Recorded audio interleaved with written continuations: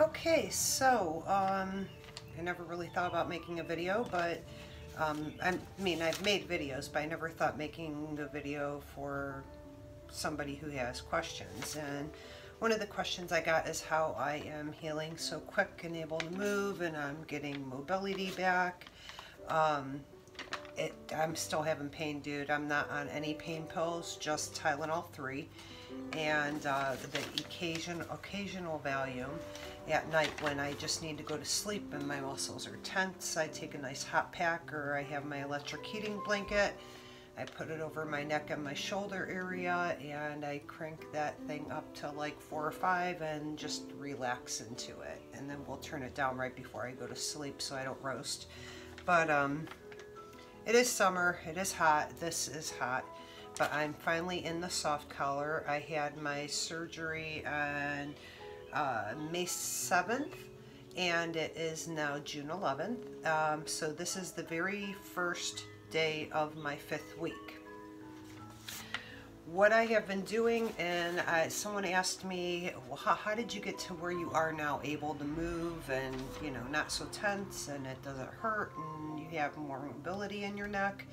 What have I been doing? Well, I will run you through a quick video on what I've been doing starting with um, my exercise ball back here.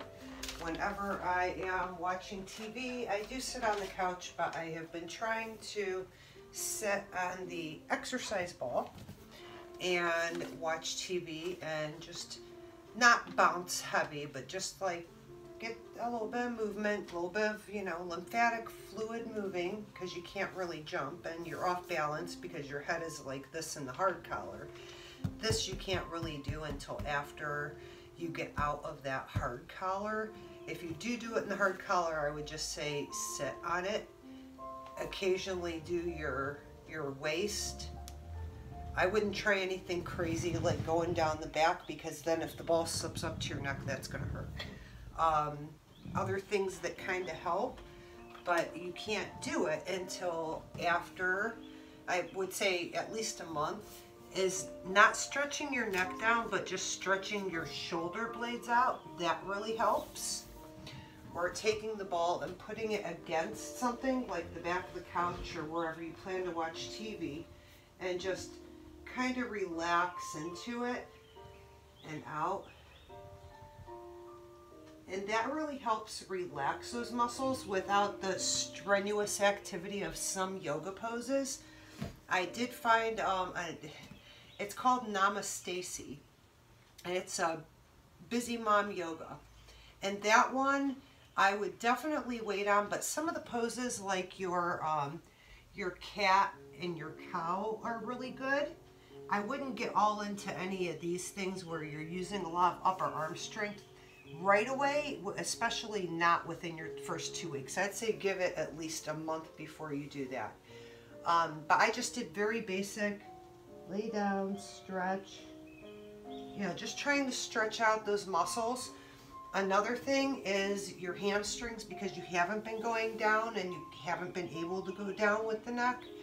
Um, just stretching through your through your calves, through the back of your legs, making sure those aren't getting too tight. You might not be able to go down all the way, but that's okay. You know, open your legs, I'd try and do one of these. If you can't do that up yet, because that sometimes aggravates it, just go down like that, or just down with each hand on each side of your knee, and just kind of do that a little bit. It helps stretch out the back, and then once you're sitting there and you're nice and relaxed, just take your shoulder blades and rotate them back and then rotate them forward. If you can't do the rotations yet, which I couldn't do the rotations right away, it just hurt so bad, um, then just stick with your shoulder shrugs. And the other thing that helps, and I used my big hoop, I did have to go back to my very big hoop again because I just really couldn't do much. And just do your side to side like that. And that helps to, and then if you want, do a little shoulder shrug. Um, try and bring your arms up within the first two weeks. I like by week two, you should be able to do this no problem. It's the here up that's going to be the problem because that's going to hurt a lot through here. So if you can't do going just isolation up and isolation down right away, don't push it too fast. Wait until week three. Um, I think somewhere between week two and week three, I started the isolation up and down.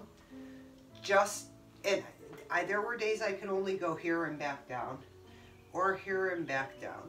Because once you start to feel that pain and you're getting that ache, just stop because it will increase through the night and you'll want pain medicine if you're taking pain medicine. Me, I just kind of I'm just suffering through it and using Tylenol, Tylenol 3 and the Valium to sleep. Um, lots of water. But once you get to that point and you can do that and you can go down, then you can try, because you can't waist hoop with the neck brace because that really doesn't take a lot of neck movement or upper body. Do not plan on bringing that hoop up because once you get to here, you, you don't want to try and chest hoop because just that movement will kill your neck and your shoulder blades and your shoulders, whatever you had surgery on. Um, I had the front and the back, so that's where I am. Um, but once you get that down, you could just stand in front of the TV and waist hoop. Try and do just some regular arm poses and see how that feels with no weight at all, no resistance, no hoops, just see how the stretches make you feel because you want to keep this moving. And I would say I don't do a ton. I might have a flow session once a day for maybe uh, 15 minutes, then a half hour.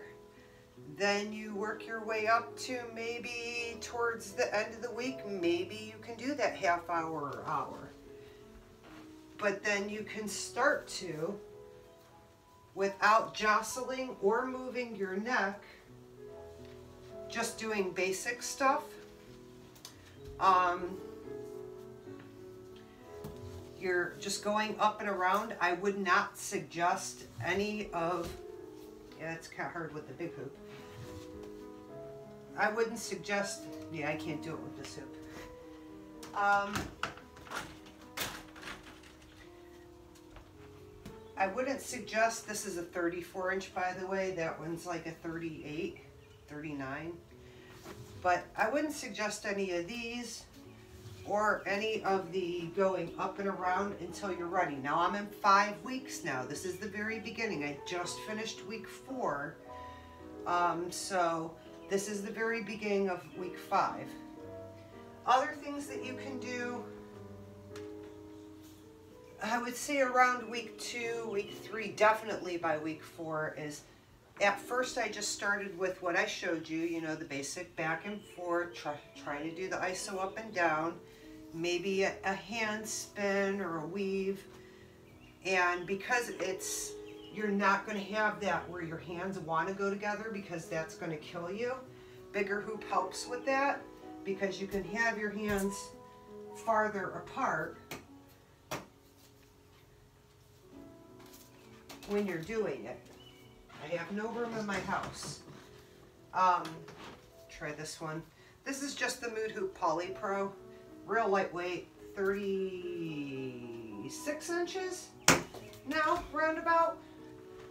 Let's see, this is the Mood Hoop, the LED. And it's HDP, so it's a little heavier, a little bit more weight. And that's a 36, so this is 38. Oh, I don't have this buckled in. That's That might be why. There we go. So we got 38, probably 37, because I took a little bit off of this one, and a 36. But once you once you start doing your hand spins, like if you're just sitting in the living room and you're just doing your hand spins, I would suggest definitely not a larger hoop or HDPE. Um, this is really good for just regular hooping, either of these two. This one's great for weaves, stuff like that. I really have liked the, the lightness of this one. This has become my best friend, the, the Raspberry Poly Pro Mood Hoop, because it's it's lightweight, so it's I'm hitting my skirt. Um, it's easier to, not my living room, it's easier to do that kind of stuff outside in the backyard on the deck. When I'm in the house, I'm usually confined to these unless I'm waist hooping. These are the Autumn Flow 28 inch, I don't remember what the name of them are, but they're very pretty and in uh, camera light they glow purple. It's just the reflective tape on them, but they look really pretty in the daytime in the sunlight as well. But when you start getting bored, because this is what I was doing for all of week three, on the hands, in, reverse, grab your hoop, try and go the opposite direction. Grab your hoop, opposite direction. And then I got bored with that and I figured, okay, well, I know I can do a weave. Let's try and incorporate a weave into this. So I was incorporating a weave into it. And then I said, well, what I do on my right, I have to do on my left. So incorporate a weave into that. And just that motion is, it almost loosens that up. Now, if you start feeling super tight and you get the tension in between the shoulder blades coming up to the, once it comes to the neck and you're just like, oh my God, stop right there, relax, you had enough for the day, go get an ice pack, a hot pack, whatever's gonna help you, and just alcohol your little thing and put some Neosporin or coconut oil or whatever you use on it and lay back and relax. You had enough at least for the next couple of hours and then come back to it. But when you get bored of spinning two hoops and you really can't do much with them, you can try doing a weave with each one. And then maybe spin one on the thumb and bring it back. Spin one on the thumb and bring it back. Try split timing. If you get real tired, just stop and relax. And then maybe after doing a couple of weaves, you're tired and you don't want to do anymore. So this is going to be a little hard in the house, but you can always, you know, get into your two beat weaves. And then maybe start practicing on your three beat weaves and coming out of that and bringing your hoop in. And then maybe bring this other hoop under, get it going on one hand, and or switch hands and get them going and practice. Yeah, I'm not that great at it, but we're practicing it.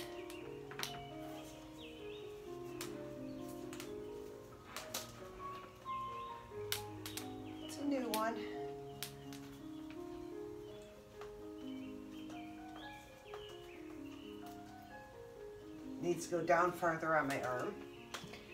Um, the 28 inchers are going to be your best friend for like the first couple of weeks. If you're doing any of this, you are not going to want a heavy hoop. Um, I love these Autumn Flow ones for that. Plus I can use them in my house and not have to worry and they're not really big so I get the motion down without clanking them into each other. Now that I have a little bit more freedom in the park, I, I have been working with these the 32 inch. So just practicing with those. And I am at the start of five weeks, so I am allowed to take this off and do my neck rotations around and around, around and around. And you just do that for like five minutes each and then um, the figure eights where you kind of look like Stevie Wonder. And then um, I have been practicing just trying to take my neck very gently to the side or just lay down and go to the side. That will help free up some of that where when you first get out of the hard collar, you feel like you still can't move your neck. So you have to loosen up these muscles right here, whether you're laying on the ground and you're just trying to stretch out your back and reach up. I hope you can see me because I can't tell. Let's move out. And just stretch out and rotate those shoulder blades into the floor and and maybe turn just the waist side to side. And then arms out. You've got to work out those muscles. You have to stretch them out. They've been in a collar for at least a month now. And then just reach up, take your arms and then hold on to like right hand on your left elbow and turn back and forth and try and work out the knots that way. Some people will use a tennis ball and put it under the back. I have one myself. It works wonderfully. I'll lay on the floor and wherever I feel a huge freaking knot, I'll just put the tennis ball right there and just kind of release my, you know, lay down and lay, like lay on it and keep the tennis ball on there until the knot kind of lets loose. Sometimes it just gets sore and tight and I say, okay, maybe enough's enough, just work with it or use the back massager or something like that. Um, another thing I've been doing is I cannot do all of these exercises every day that they gave me. There are six on this side with the bands and there are six on this side with the bands. But it says that you're only supposed to do them um, three sets, 10 repetitions, once every other day. But I hoop, I dragon staff, so as far as the exercise bands go, I do do all six exercises, and if someone needs to see that, that's fine. But basically, it's taking the arm from here to here, here to here. And then the next one is just taking the arm back, like that. The other one is turning around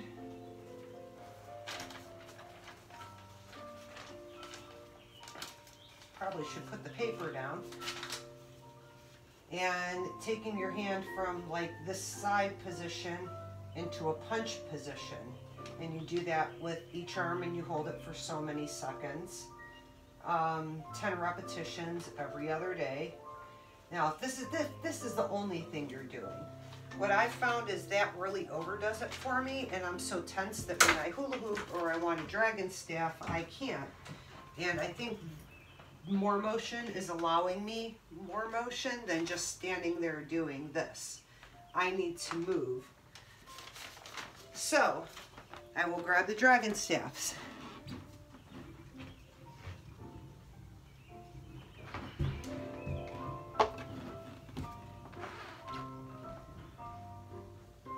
First, my first two weeks, I couldn't do anything with the dragon staff because everything through my shoulder blades all the way up my neck were so tight and so stiff that just even this aggravated it.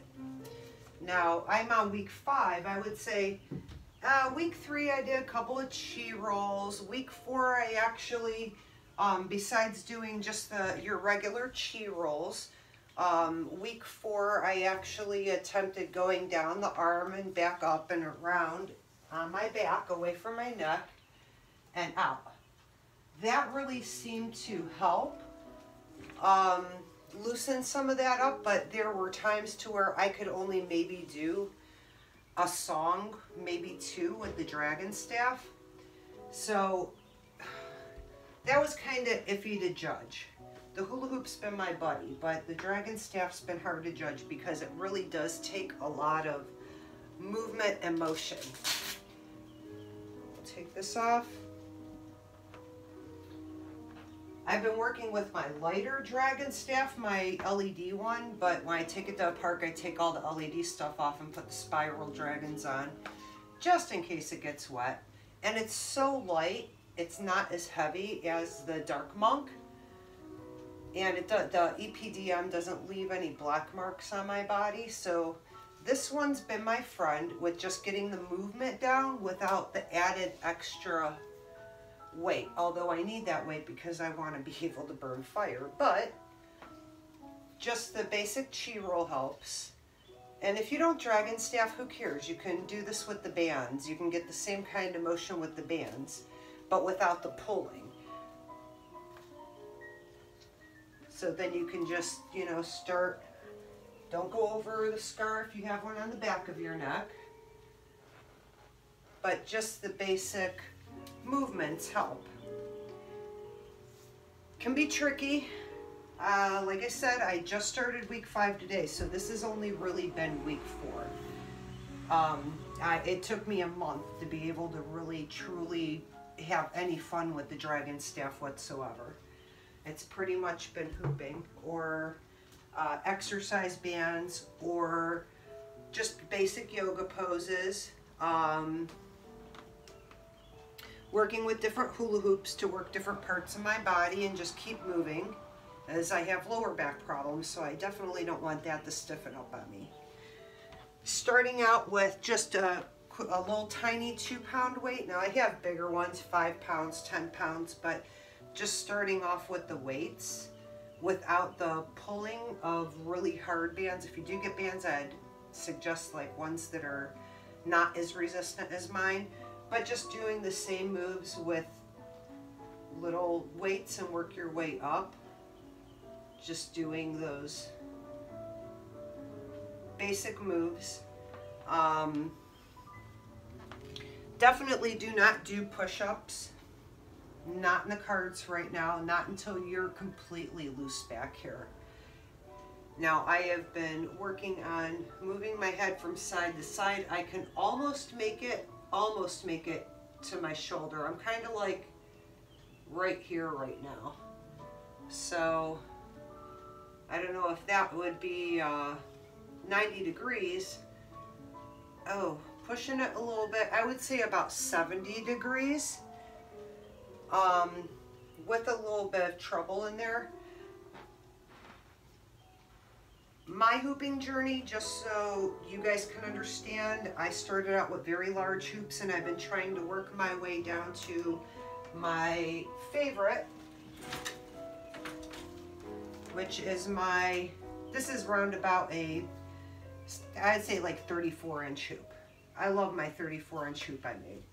I started out with this. It was my most awesome hoop, but I couldn't do many tricks with it because it was just too tiny. But I could do your basic, you know, that kind of stuff, breaks, um, knee hooping, but not getting it up. So my goal up to my fifth month was to make it down to a 34. I've only made it down to a 36. But over the course of the last five weeks, I went for my big hoop down to my Raspberry Poly Pro, down to my 36 inch mood hoop. And I have now started playing with the 34. And I'm doing much better with it. I'm getting a lot more movement. Um, just recently, because you don't really need to move your, I'm loose through here right now. It still hurts, I'm not gonna lie, it hurts, so I can only do very little at a time. But I can chest hoop again. It's just not great because it's still awkward, but I can chest hoop again.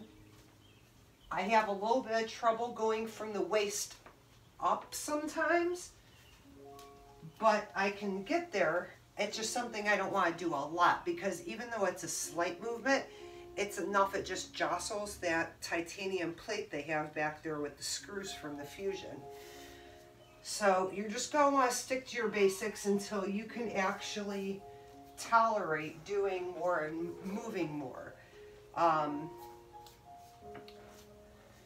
I do a lot of just around the body, a lot of that to loosen it up. Going over the head to stretch out the arms and the shoulder blades. Going up have to grab a different hoop for the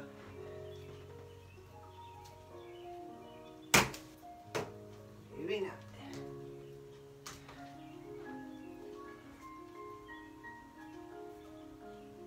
Just doing the practicing the mandalas. This one is pretty hard. The isolations for me were real hard on this area, so I can do them now with a lighter hoop the heavier hoops kill me, but I can do the isolations. I can, th those are really good for once you're finally loose to build up that muscle strength because you have to hold your arm out and you have to bring it around, around. So that's gonna work that area. And then you just do it with your, I'm not great with my left hand. Like I said, I've only been doing these for this last week and only with the smaller hoops. Um, if those start making you tight, stop, maybe try them again in a couple days when you're a little looser and you feel like you can you can practice them again.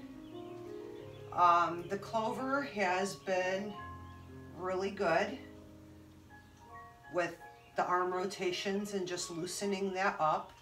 Um, other things is just the hand spins and working on bringing those around.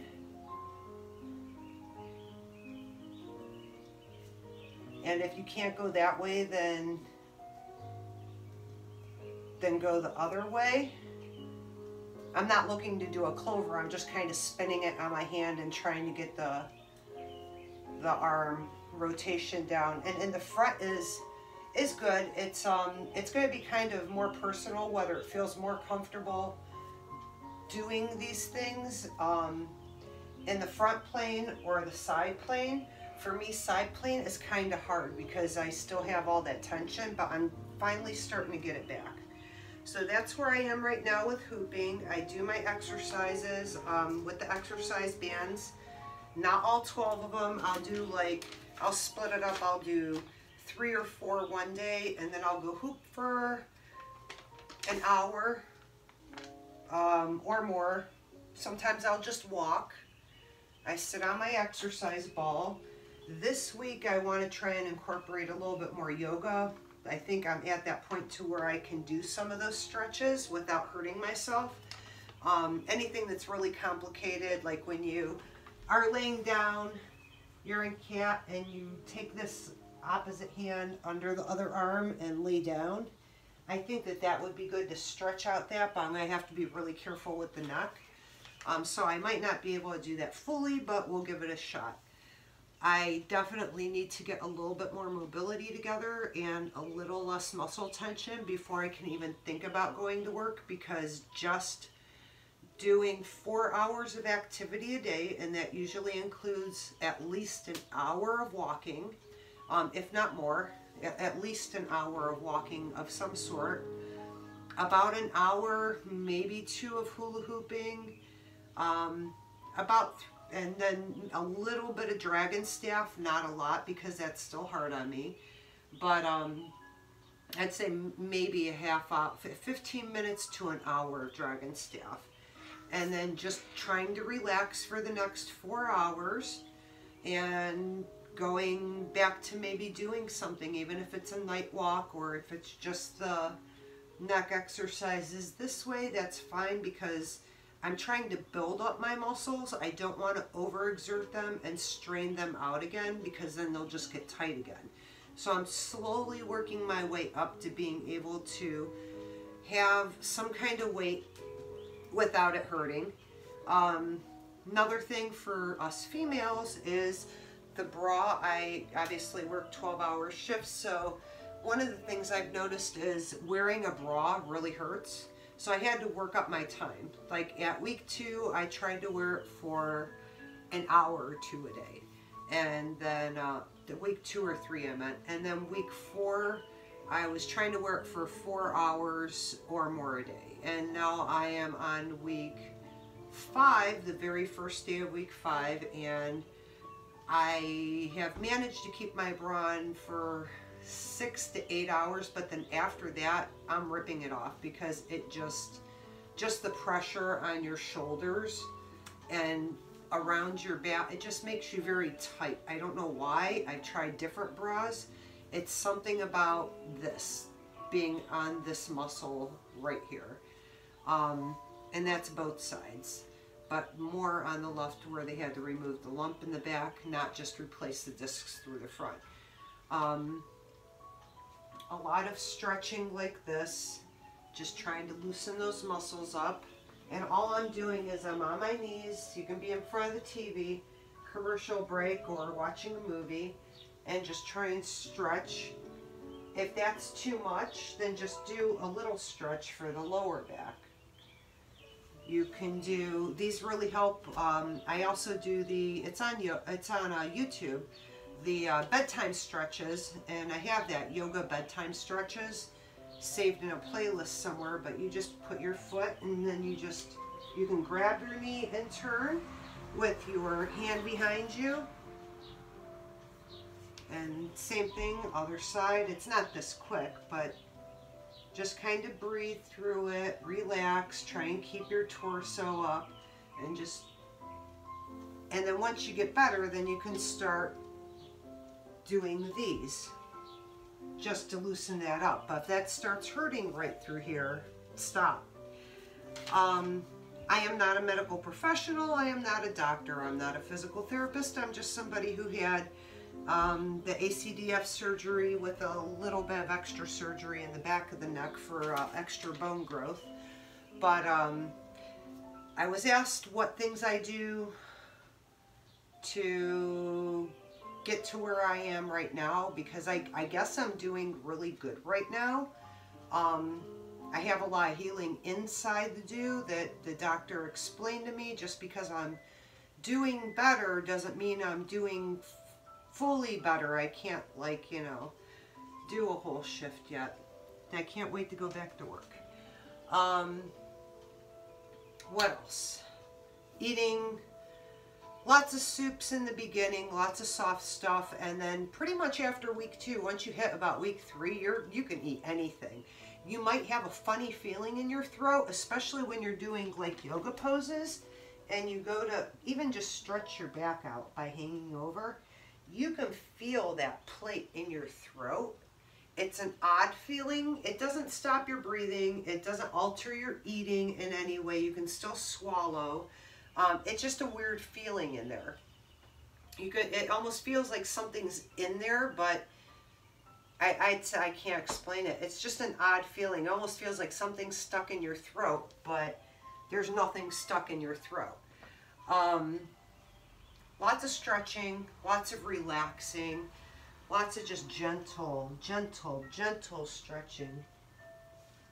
We're talking about those, if you're looking up yoga videos, those 40 plus yoga videos where it's just very gentle, very slow, very, you know, just stretching out those muscles. You know, that's that's pretty much it. It's That's the name of the game. Get those muscles to loosen up. Still stay active. Don't overdo it. Push it a little bit, but not very much more. Um, you don't want to rip or tear or mess anything up. So I am going to put my neck brace on and um, that's about it.